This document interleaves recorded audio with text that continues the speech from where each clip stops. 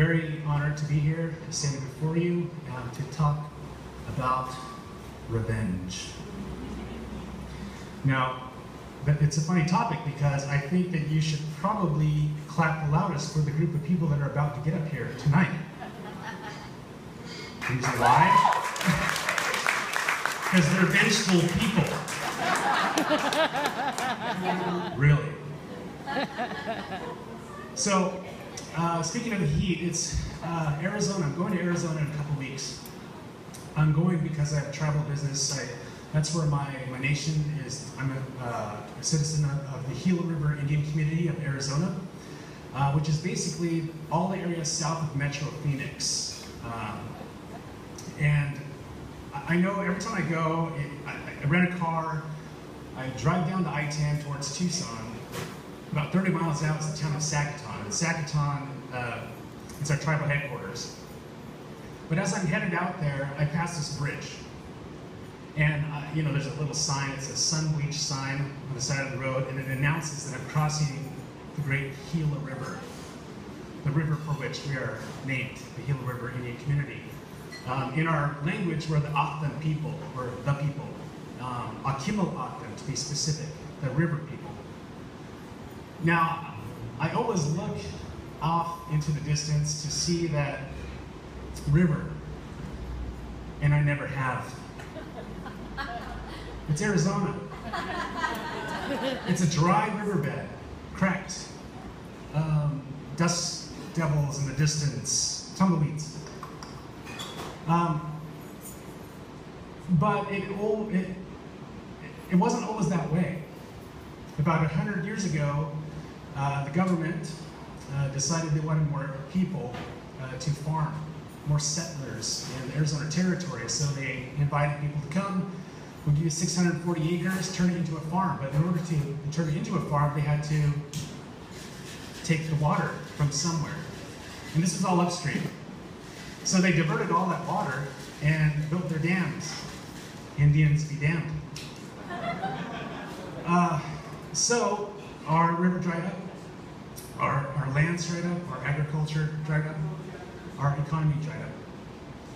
And we're descendants of the great Hohokam people, uh, the canal builders. A thousand years ago, they built these huge canals which were like 10 feet deep and 30 feet wide, and they channeled the water of the Gila River and the Salt River, and they created amazing uh, network infrastructure of canals, and, and, they were able to you know, irrigate their lands and grow crops, all their, their traditional foods, squash bean, corn, uh, pumpkins, melons, and even uh, Pima cotton, probably in some of your shirts. But let me come back a little bit here. Um, before I was a filmmaker or a, an actor, um, I thought I wanted to be a lawyer. After my first year of law school, uh, first year of law school, I went to work for my tribe as an intern for their, in their legal office. And uh, the head of the, the head attorney loved to golf, and so he would close up shop um, every Friday afternoon. Not well, not every Friday afternoon, but it seemed like every Friday afternoon. And we'd go golfing because our community is fortunate enough to have two professional golf courses attached to one, our resort. And this this golf course, it's, it's a veritable oasis in the desert, and it's uh, just you know desert, desert, desert, lush green grass, manicured lawns, rolling hills, a, a waterway meandering through lakes and waterfalls. And that water has brought forth vegetation and, and cottonwoods and willows, and, and, and it's brought all the animals. It's brought tons of birds and waterfowl. It's basically transformed that area, and it's pretty amazing. And the reason why they did this, it's, it's planned this way because they wanted to simulate, simulate what the Gila River would have looked like back then, or what it should look like now. So, um, over the history, of course, we all know the hardships. I kind of described some in, in, in, the, in the future. But I wasn't born in that era. I was born in the 70s. You know, this is a time when there was the self-determination era, they call it, when uh, the federal government decided, well, maybe the natives, the Indians, you know, might know how to take care of their own people better than us. So they decided to give them a little more power, and we took that power. It's well, it's really we've always had it. It's called our sovereignty. We're sovereign people, and, and we, we have always been. Um, so, um, uh, with the with the with the self-determination era, that's when casinos came about. Uh, some uh, tribes did very well. Not all tribes. Only a handful of tribes actually operate casinos, and only some of those are successful. The ones you hear about in the news. Um, but I'm fortunate to be part of uh, a successful tribe, and I'm very proud of that. Um, but that has allowed us to litigate, to have lawyers, to have that law office. And that guy I told you who closed shop every Friday, he's one of the veteran lawyers, uh, one of the original activists, sort of like Billy Frank Jr. in this area for the Nisqually people and the fishing rights. Um, but he was a warrior for water, which is a precious commodity, especially in the Southwest. And just a little plug, we need the water. Water's life. We need clean water.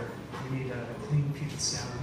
We need uh, clean water in, in North Dakota. You hear about the pipeline. And of course, there's fracking, but no ranting, right? No ranting. Uh,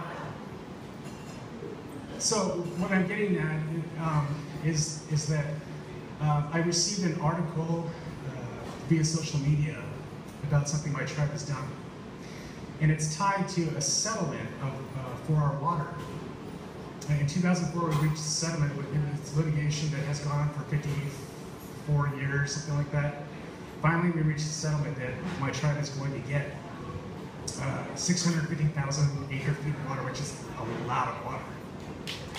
Um, so it's kind of full coming full circle.